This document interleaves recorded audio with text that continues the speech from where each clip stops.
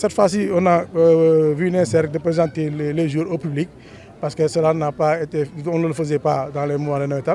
Bon, cette fois-ci, on a innové pour dire qu'il faut présenter les jours aux, populations pour qu'on puisse identifier les jours et avoir un sentiment de, fraternité entre les jours. C'est pourquoi on a initié cette fois-ci cette, cérémonie de remise de, de remise de, de, et de, et de maillots pour que qu'on puisse avoir euh, la, une idée dans, les perspectives à venir. Les perspectives à venir aussi, vous voyez, donc c'est les phases nationales qui est devant nous.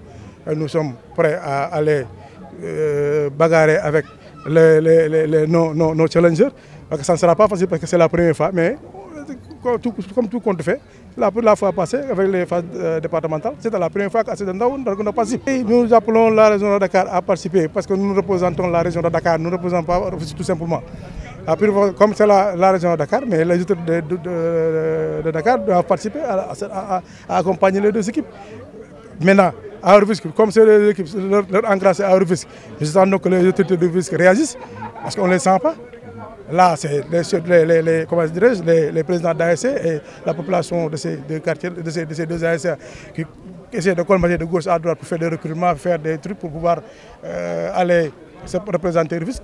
Donc il faut que les gens aussi participent à ce que nous faisons. Parce que ce que nous faisons, c'est d'aider à ce que nos jeunes puissent avoir des compétitions et aller en avant. Euh, ODCAV de Rufisque avait initié euh, une campagne de vaccination au niveau des stades de Rufisque. Après avoir initié cela, on a dit, comment il s'appelle, euh, mobiliser la, la, la, population de Nagona pour qu'ils puissent aller se vacciner. Et cela a été fait. Cela a été une grande réussite. Vraiment, ça, il faut que les gens aillent vacciner parce que ça nous permettra de, pouvoir euh, continuer nos activités sans, sans problème.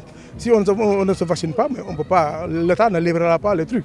Parce que là, vous voyez les stades de, européens, les gens sont vaccinés. Il y a un pass sanitaire à, à, montrer. Après avoir montré le truc, il n'y a pas de souci.